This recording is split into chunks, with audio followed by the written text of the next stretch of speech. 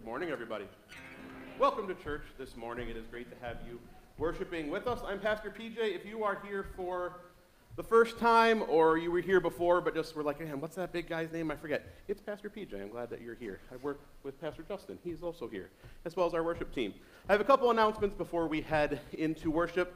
A lot of these are going to be in your bulletin on that third page. So if you want to turn there and take a look, a couple things to give reminders of things we've been talking about for a few weeks. This week is the big uh, food pantry Christmas meal giveaway, and so we need some helpers for that. Uh, that is the 15th and the 16th. There is a sign up if you are able to help out in the afternoon. I think it's 4 to 6. Yeah, 4 to 6 on Thursday. No, 4 to 6 on Wednesday, 3:30 to 6 on Thursday. Um, Wednesday is packing the meals together. Thursday is distributing the meals to the people who need them. If you are able to help out either of those days, I think Janet needs about 10 or so people, right, Janet? Okay. And how are we doing with turkeys? Do we need a lot, lot more, or a couple more, or don't give any more turkeys because we're drowning in turkeys? How are we doing?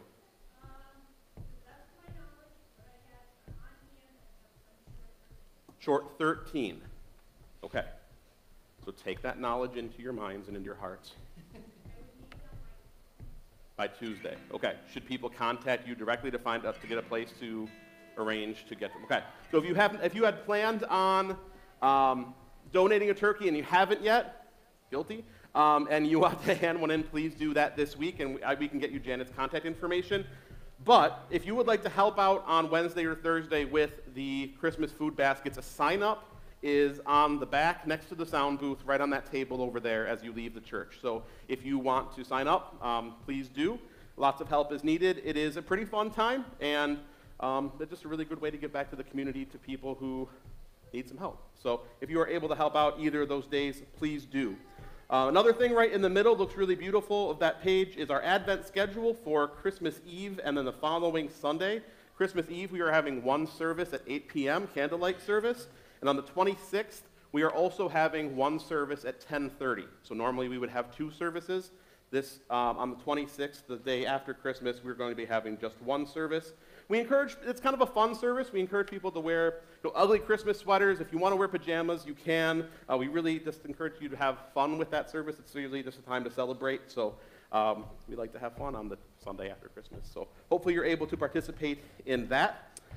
Um, lastly, tomorrow is um, Monday. We have our ad council meeting. Normally it's 7.30. We, we, we change the times and then I get nervous and I forget. 7.30 is ad council. If you are on ad council, please be there. Um, I'm sure you've heard the news about a statewide mask mandate starting, how convenient, this Monday. And so we're going to be talking about what we're going to do with that at Ad Council this Monday. So we will get all the information to you about what we're planning to do with that. Um, when we make big decisions in the church about how to handle certain things, we usually do it through our administrative council, and that's what we're going to be doing on Monday. So if you're wondering, hey, I heard this news about the statewide mask mandate for all indoor places, what are we doing with that as a church? We're figuring that out, and we're going to talk about it Monday and make a decision. So we will let you guys all know before, well before next Sunday, so you can know what to expect about how we are approaching that. Okay? Any other announcements that Uh, two, two quick things are on me. Uh, youth this week, The Rock, we uh, will meet here at the church, but there's a big concert going on over at the school. So we're going to go support them at the concert. So if you need a ride, you can meet here. And then in two weeks, we're going to have a big Christmas party uh, at the church. So, yep, You still need helpers for youth group? always. Awesome. So if you'd like to help out with our youth ministry, Justin Owen can always use some help. They meet on Wednesday nights, and they do a really good job reaching out to the youth in our community as well as those who attend the church. But let me pray as um, we head into worship this morning. Father God, we are thankful to be able to gather in your house that is safe, that is comfortable, that is designed for this time to give you worship. That, of course, yes, we want to be fed from your word. We want to have fun, uplifting worship, but we are not here for us, we are here for you. So I pray that right now, the attention of our minds and our hearts is focused on you.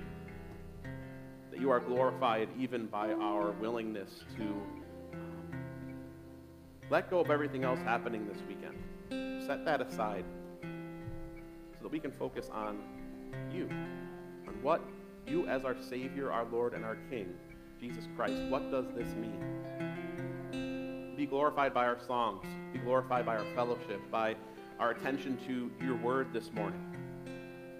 And Lord, in all things, we are so thankful to be able to gather. Thank you for loving us and saving us. All this we give to you in Christ's holy name. You guys stand and join us.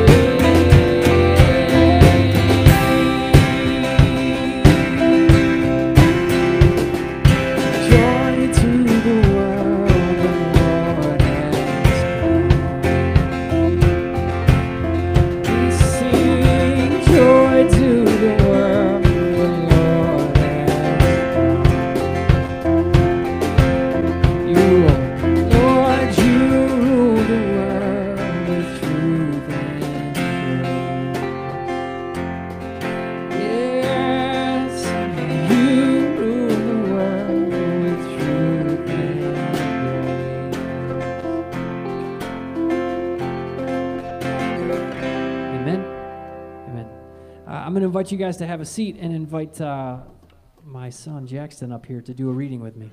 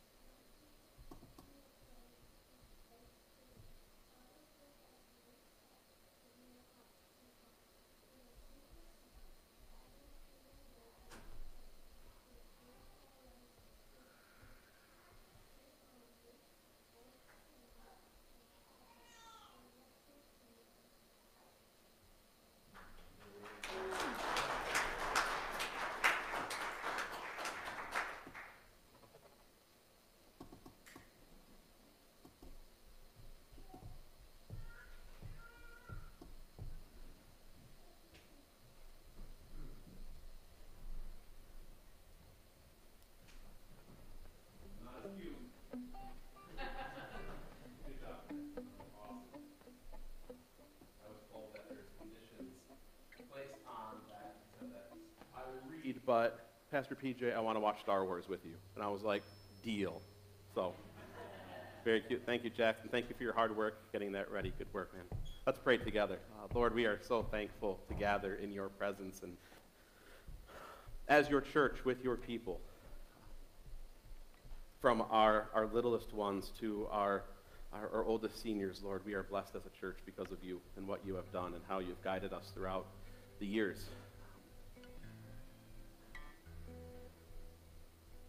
Lord, we light the candle of joy this morning. Not out of, yes, out of tradition, but not just out of that because of what it represents, because you are our joy. You have given us every reason to, to live into this very real, life changing joy, not a, a temporary happiness that is fun, that is good, but a joy that persists even as we go through trials even as we experience losses, even when we don't always know what's going on in the world and the world seems confusing or frustrating. Lord, still, your joy is with us because your presence is with us. You promise to always be with us to the very end of the age. That doesn't change based on our circumstances. And therefore, we have every reason to be joyful, not because we manufacture some fake joy at Christmas time but because you are with us. Because we are followers of Jesus Christ, the source of true world changing, life changing joy. And Lord God, we lift up to you those who um, maybe joy isn't the word they would use to describe life right now. Things are, are challenging. That the joy is there because you are there. However, they would have a hard time describing things as joyful in the moment. We lift up to you those who are hurting, those who are in the hospital, those who are just wanting to be home and be with family and have some semblance of normal and comfort, especially as Christmas gets closer. Lord, we think of regions in our nation that are recovering from uh, just tornadoes and strong winds, people who have lost homes, families who have lost loved ones. People who have started up businesses that, that are now gone and they don't know where to turn to now, Lord, I pray that you can be their hope and, yes, their joy even in times like this. So, Lord, watch over places in our nation and in our world that are hurting right now.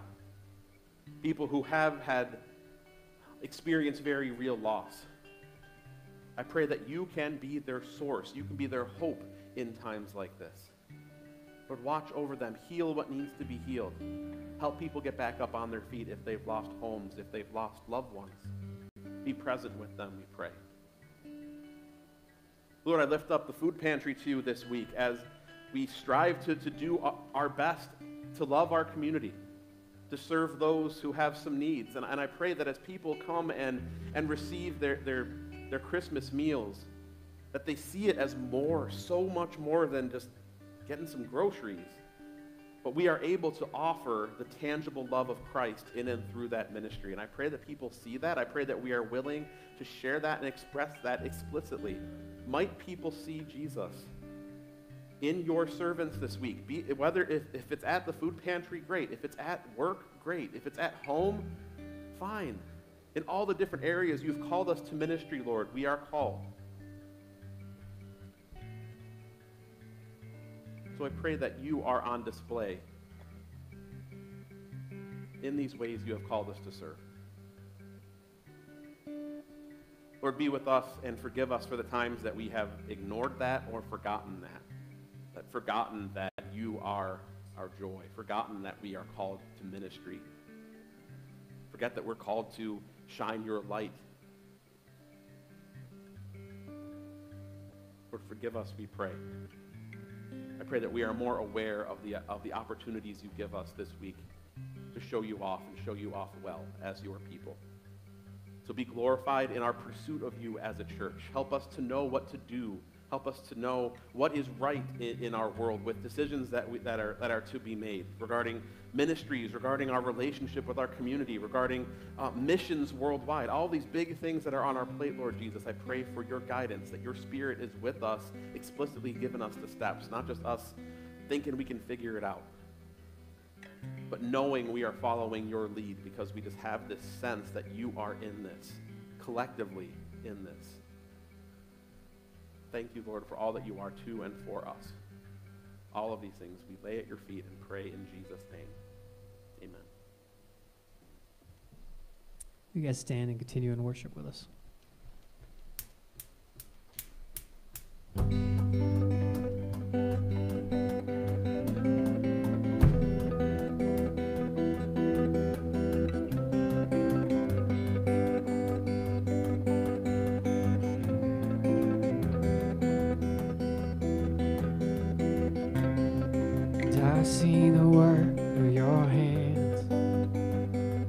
Galaxy spinning a heavenly dance, oh God.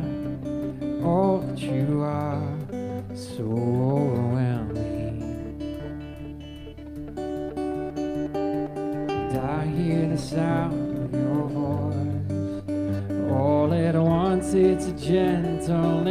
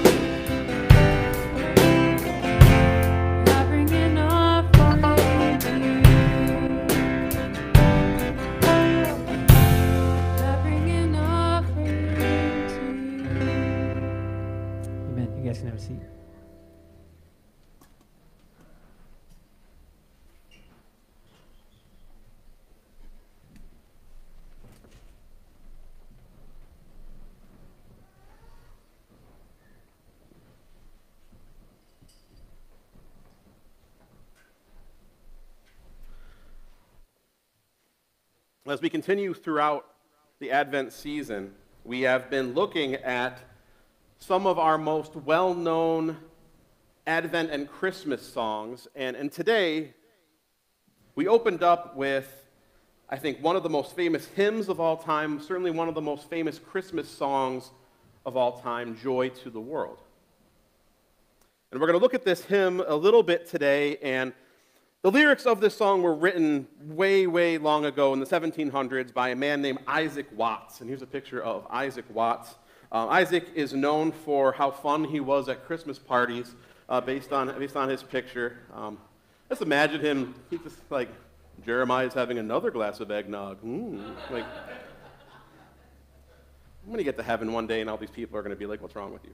Um, So I'm sure he was a great guy. Just all these old timey portraits, they're all funny to me. He's actually the hymn writer of, I think, one of the most powerful um, Good Friday hymns as well, When I Survey the Wondrous Cross. That is also Isaac Watts. And, but, but he, he was a, a Bible scholar, a, a pastor, a theologian, and he wrote Joy to the World as a paraphrase of Psalm 98. And I want to read to you Psalm 98 in just a little bit. But before I do, I wanted to encourage you. I'm going to be throwing lots of different scriptures at you today. Okay, there's lots of different places, especially in uh, John, Luke, and Isaiah. We're going to be in lots of different places. I want you to write down the scripture references.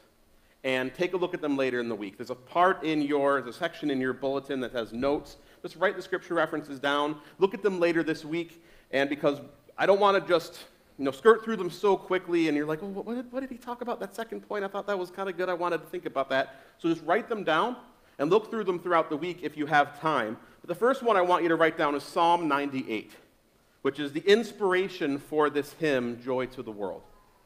And Psalm 98 says this Sing a new song to the Lord, for he has done wonderful deeds. His right hand has won a mighty victory.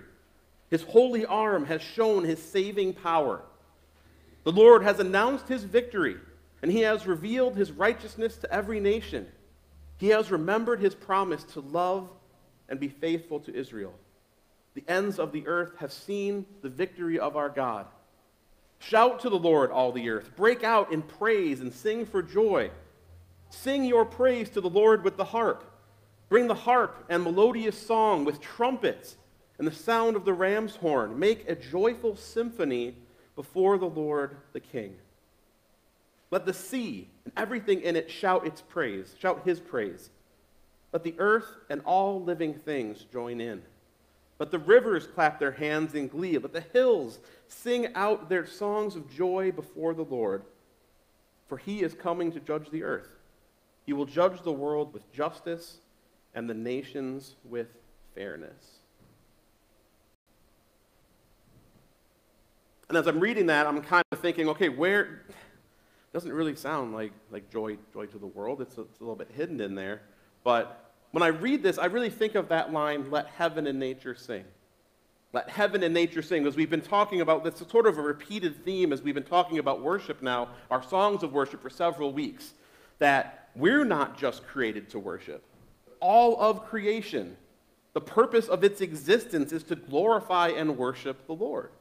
That when we sit by a stream and the waters kind of pass over the rocks and it makes rippling sounds, that in itself, that noise in itself, that existence there is a means of worshiping God. Let heaven and nature, nature sing out how great is our Lord. But there's actually another lyric that I want us to focus on today. In this really familiar hymn, I want us to really keep our home base on this opening line. Joy to the world, the Lord is come. Let earth receive her king. Okay, before moving on, before in your mind singing about the rest of the song, just focus on these lyrics for just a moment. Just internalizing this and mulling it over for a moment.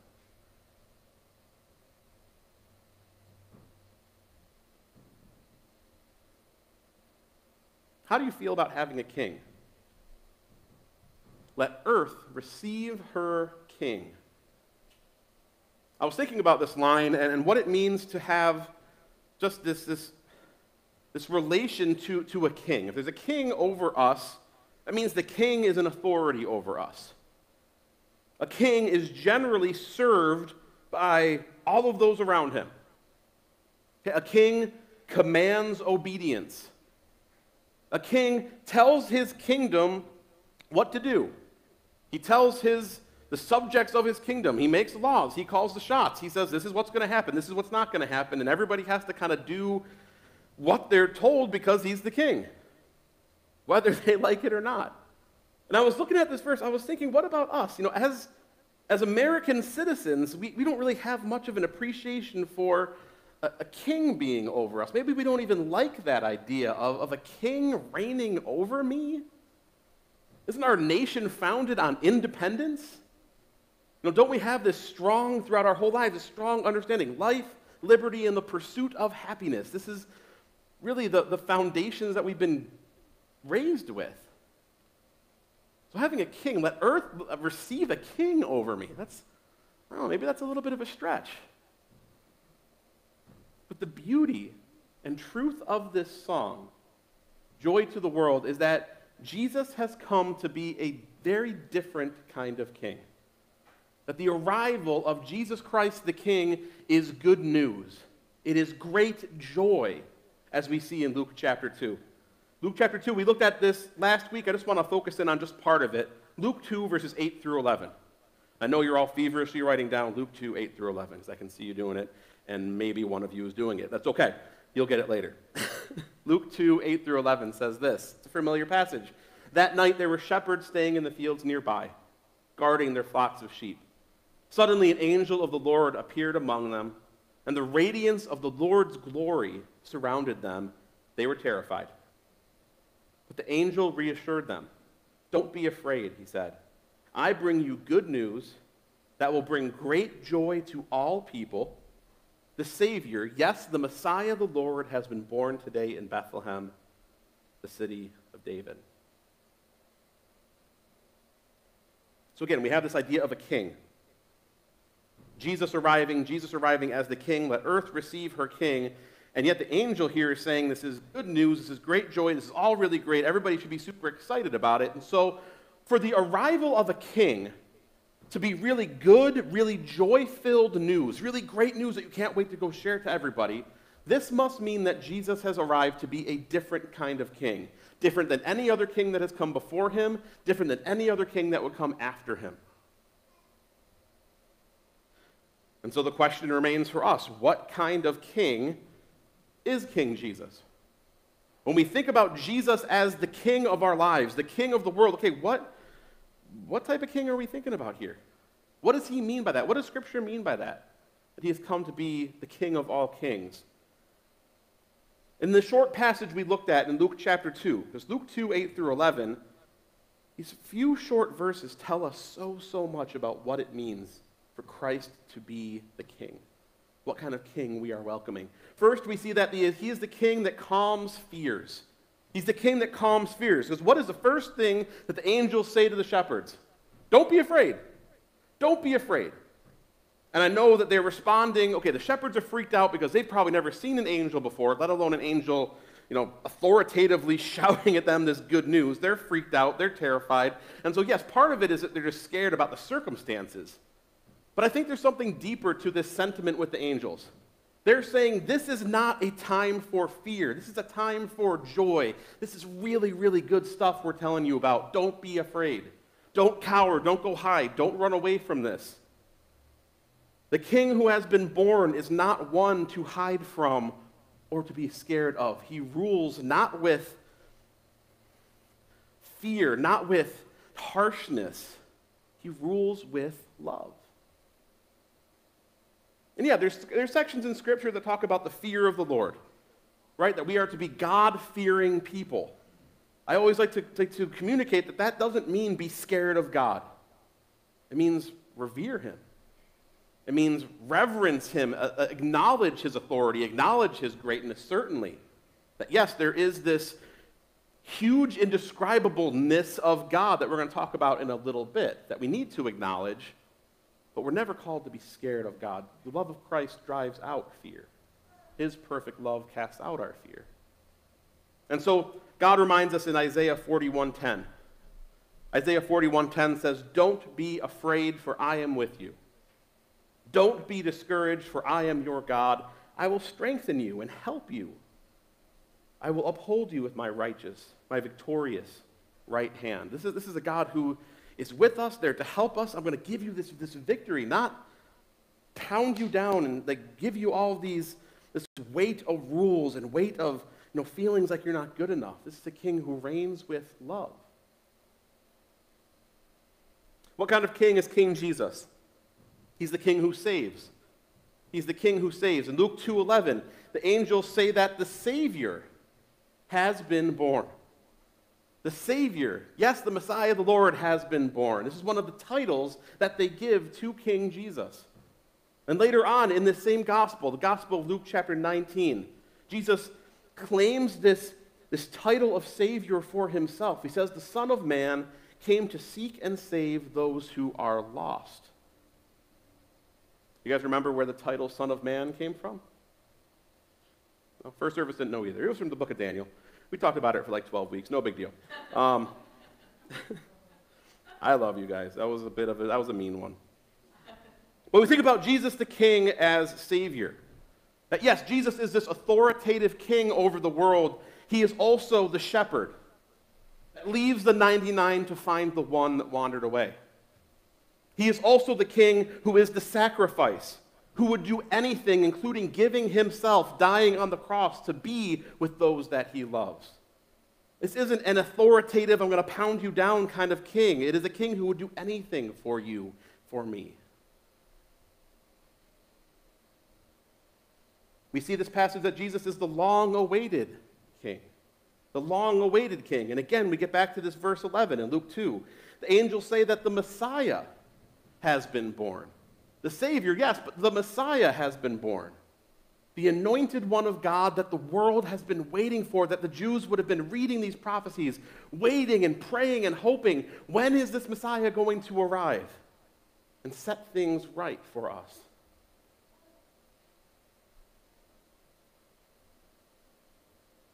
In this song, Joy to the World, there's a third verse that we didn't sing. And it's sometimes people sing it in church, sometimes people don't. It's kind of a confusing verse. It says this No more let sins and sorrows grow, nor thorns infest the ground. He comes to make his blessings flow far as the curse is found. And so, for a lot of us, we look at this verse and we're like, what is happening now? I thought it was Christmas time, Pastor PJ, but there's infestation and curses and thorns and sin, and I don't want to think about this stuff. It's Christmas time. Let's be a little bit more joyful here. We don't want to think about this stuff, but when we understand what this verse is talking about, it is absolutely beautiful what it means about our King Jesus. This goes back to Adam and Eve. This goes back to Genesis chapter 3, original sin. That God made the world. He made the world to be perfect. But humanity messed it up. And part of God's punishment was God cursing the very ground that Adam was made and commanded to cultivate, that you're going to bring good things out of the earth. You're going to cultivate and develop the ground, develop culture, develop all of these things, but it starts with just basic gardening. The curse is that's going to be more difficult. Genesis 3, verse 17. He says, And to the man, he said, God said, Since you listened to your wife and ate from the tree whose fruit I commanded you not to eat, the ground is cursed because of you. All your life you will struggle to scratch a living from it. It will grow thorns and thistles for you, though you will eat of its grains. And so, ever since Adam and Eve, sin and this, this subsequent brokenness of creation, since that moment, humanity has been waiting for this Messiah to come and set things right. In his first advent at Christmas, and in his second advent when his promised return. And we're sort of in this in between time, waiting for that promised return, waiting for the promise of when is this curse going to be lifted? When are we going to have have the world perfect as God once planned it to be? When is God going to come in his fullness and dwell in the fullness with his people? That we've been talking about the last couple of weeks. Jesus is this Messiah king that the prophet Isaiah writes about. Isaiah 9, verses 6 and 7. This is a familiar passage. Isaiah 9, 6 and 7. For a child is born to us, a son is given to us the government will rest on his shoulders, and he will be called Wonderful Counselor, Mighty God, Everlasting Father, Prince of Peace. His government and its peace will never end. He will rule with fairness and justice from the throne of his ancestor David for all eternity. A passionate commitment of the Lord of heaven's armies will make this happen. Long awaited king has arrived in the first advent as we now wait for his second advent. We see in this Luke 2 passage that Jesus is the king for all people. He is the king for all people. The angel said, I bring you good news that will bring great joy to all people. This one's not that hard, it's just right there in the text. To all people all people are worthy to receive this king and know this joy. It's not just for me.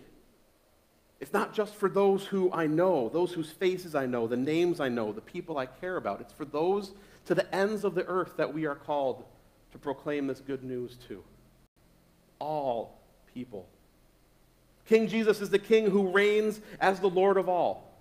Again, the angel said, the Savior, yes, the Messiah, the Lord has been born today. The Lord has been born today. King Jesus is the Lord of all. So, this is where sort of the idea of the fear of the Lord comes in. That what is all of this mean about Jesus? That, that he is he is transcendent. He is above time and space. He is omnipotent, omnipresent. All these omnis, all of these theological words we want to toss at Jesus to try to at least a little bit articulate his greatness, yet we always fail because human language cannot possibly get to at least even an ounce of all the greatness of Christ. We can't do it with our fallible language. I love the line later on in this song. We sang this one He rules the world with truth and grace. That is our Lord. He rules the world with truth and grace. And this is exactly directly from John 1:14.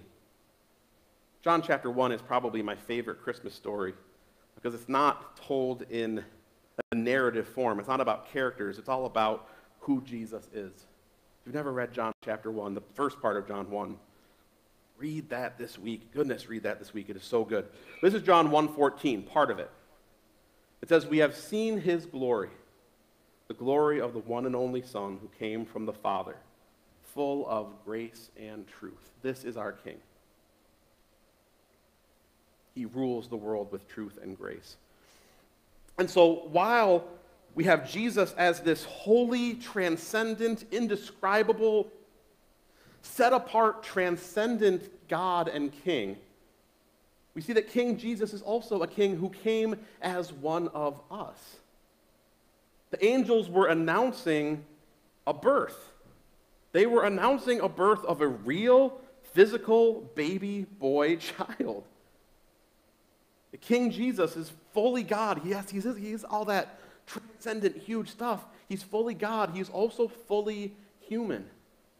That this omnipotent God was born as one of us, meaning he is accessible, he is relatable. He identifies with our weaknesses. He identifies with when we are tempted. Jesus was tempted, yet he did not sin. Jesus was betrayed by his friends. Jesus experienced the sadness of loss in his life. People in his life died. He knows that sadness. He knows what's that, what that's like. He knows the challenge of what it's like to live as a human being. Yet he also knows the good parts too.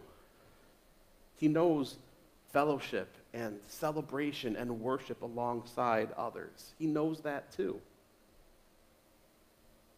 This omnipotent, indescribable king became one of us. And lastly, we see in this Luke 2 passage that King Jesus is the king who dwells with us. The king who dwells with us. It says, The Lord has been born today in Bethlehem, the city of David. This is a real place on the map and a real moment in history. But this isn't, we're not, I'm not up here telling you a, a fairy tale that somebody made up. This is a real, true, factual, historical event that really happened. Came with regular people, just shepherds who are just out in the fields working. They're just doing their thing.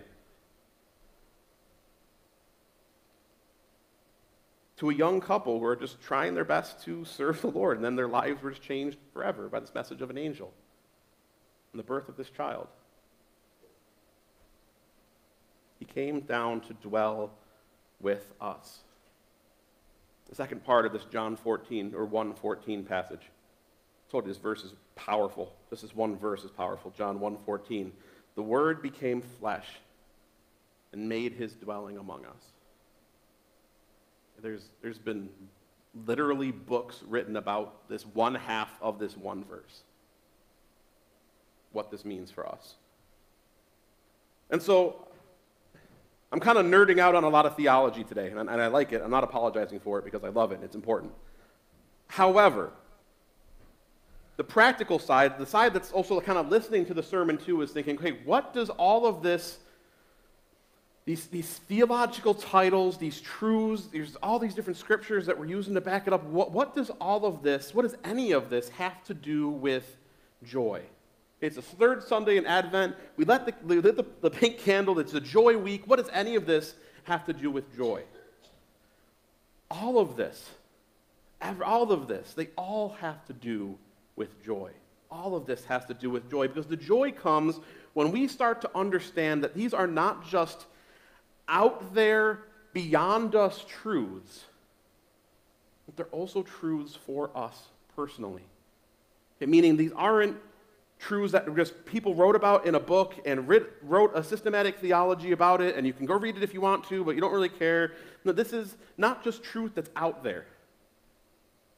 This is also true for me, also true for you. That King Jesus is my king. When we start to understand that, we start to understand more about where the joy comes in. That King Jesus is my Savior, came to save my life, save me from my sin, the power that sin had over me.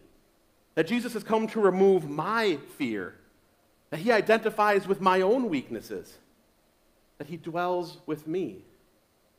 He isn't just my Savior. He is certainly my Savior, but He's also my Lord. He's my King, my loving authority in my life.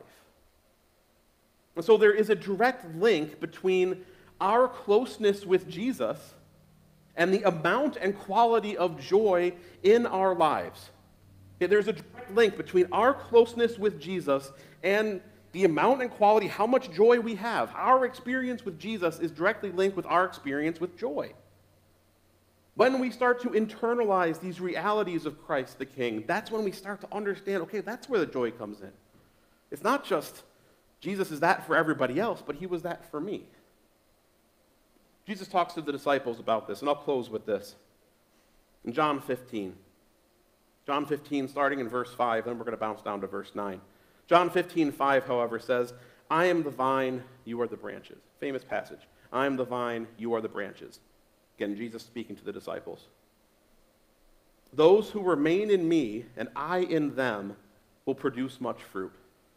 For apart from me, you can do nothing. Verse 9 I have loved you, even as the Father has loved me. Remain in my love. Keep that word in the back of your mind. Remain, remain, remain in my love. When you obey my commandments, you remain in my love, just as I obey my Father's commandments and remain in his love. I've told you these things. I have told you these things so that you will be filled with my joy. Yes, your joy will overflow. Direct relationship between remaining in Christ, knowing his love, and receiving his joy. Again, Jesus says, Remain in my love. Remain, remain, remain in me, remain in my love, remain in me just as I remain in my Father. The closest relationship you could possibly have, make that happen. Remain in me, so that, so that you will be filled with my joy. Direct relationship. The joy that we're talking about, it's beginning with the birth of Christ. God taking the initiative to take on flesh and dwell with us, to save us. And so now, it's our active choice to discover Christ, remain in his love, and to know the joy he offers. Okay, joy is this gift that God offers us. You're going to give lots of gifts in about a week. Gifts are given, but gifts also must be received. If they're not received, they're meaningless. You can get people all sorts of gifts. If you don't give it to them, they don't receive them, what's the point? Receiving joy, living into joy is a choice. Will we remain in Christ and therefore be filled with his joy or not? Will we remain in Christ, therefore be filled with his joy or not? And this question is reflected in this powerful song, Joy to the World. We are invited to respond to this joy. The lyric that says, Let every heart prepare him room. This is a line I must have sung hundreds of times in my life and never really given it much of a thought at all. Let every heart prepare him room. Given what we've talked about with Christ being the king, all that that entails, our choice now to remain in him and to choose that joy, this lyric to me takes on a little bit of a different, different flavor, I think. Let every heart prepare him room. Maybe for you, this is the first time ever in your life you've considered Jesus to be a joy bringing king. That all other conversations about Jesus is just like all those church people, or that just demands of what it means to follow Christ, and you just have to, you know, give up all this fun stuff, and it just, it's just, it's about Christ being this king that lords over us and pounds us down, and you don't want anything to do with that. Christ being the king is the best news anybody could ever receive. So for you, preparing your heart means opening the door for Jesus to come in, welcoming him in as the king of your life, saying, Jesus, I want you to be this authority because I can't figure things out on my own. I've tried. I don't have this kind of joy. I don't have this kind of peace. I don't have the hope that Pastor PJ was talking about a couple weeks ago. I just don't have it. I can't figure it out myself. I need you opening the door to what that means. And if you're there, if you're like, you know what, yeah, like, I never considered Jesus being the king to be any kind of joy filled good news. I still have a lot of questions about that. I will talk to you. I will be here after church. Come talk to me. I think many of us, though, when I think about this story, I think a lot of us have gotten like that inn at Bethlehem. The inn of Bethlehem, meaning overcrowded.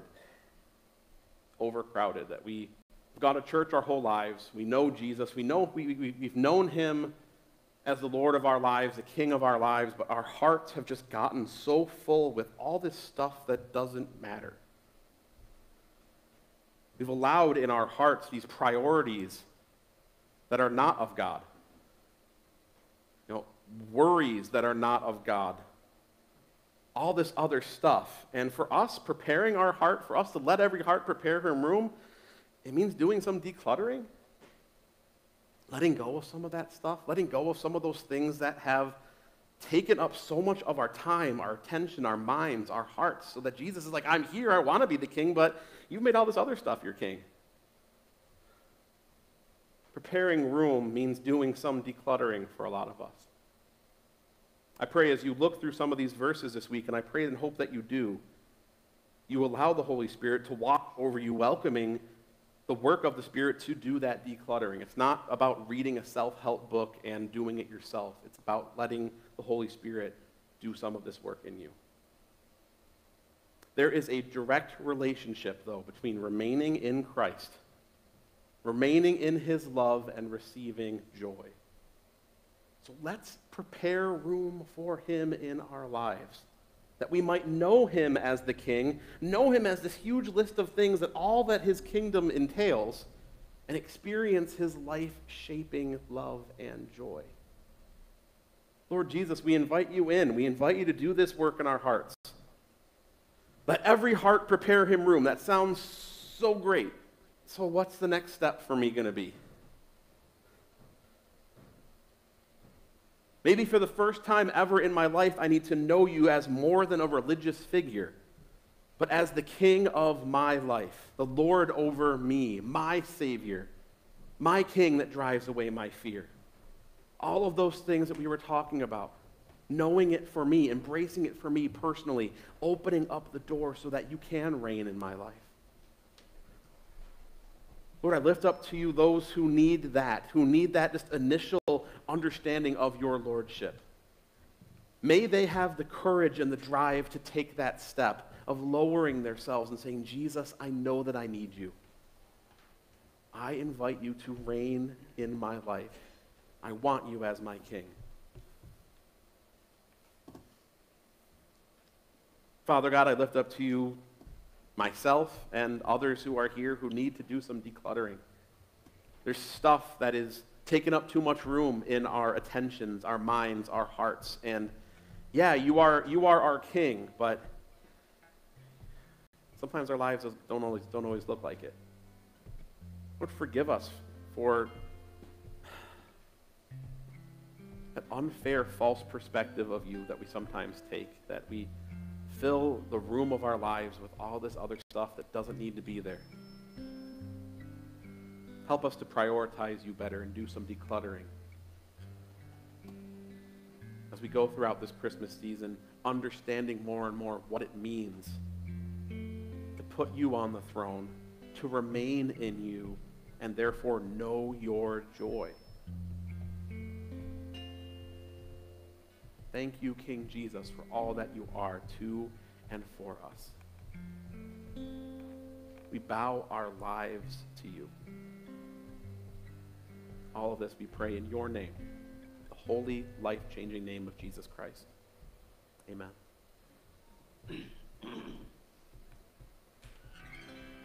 Amen. You guys stand with us?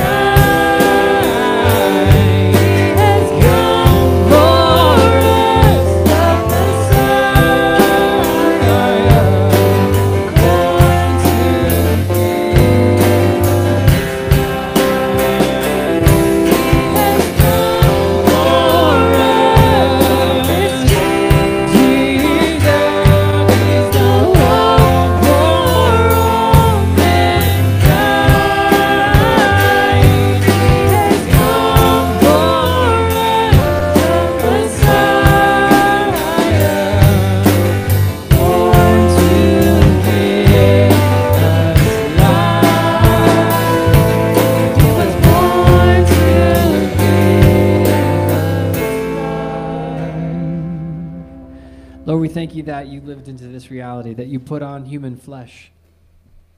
God, I think of this reality that the joy that we have in this world is not based on the things that we have or the people that we know or the experiences. We don't like the idea of submitting to a king, but you're either king over all or you're not king at all. And so, God, this morning, as our king who longs for us to live lives filled with joy, with purpose, with hope in a world that is like searching for all of those things so desperately. Help us to be people that exemplify that. God, when, when PJ said like our, our relationship to you, how close we are with you determines the kind of joy we can have, man, that hits home because there's days where we wake up and it's not a joy filled occasion. I have to force myself to your word because it's the only place I can find that kind of joy, that kind of satisfaction and contentment. So, God, this week, as we continue in preparation to celebrate the first Advent and, and looking forward to the second, help us to be people that understand that you are our source of joy. No matter how much I fill my life with all these other things, am I making room? Am I preparing a place for you and I to gather together? God, thank you for this place that as a family we can come together and worship. We can encourage one another to be making that room, to be reprioritizing the things that really matter because those things that we think give joy don't. You do. God, thank you for this reality. Thank you that you are all sustaining, that you are our source of strength and hope. I pray that you would help us to share that with a world that needs it. By the way that we live, may we, may we represent you well. May we make you look good. In Jesus' name we pray. Amen. Amen. See you guys next week or this week at the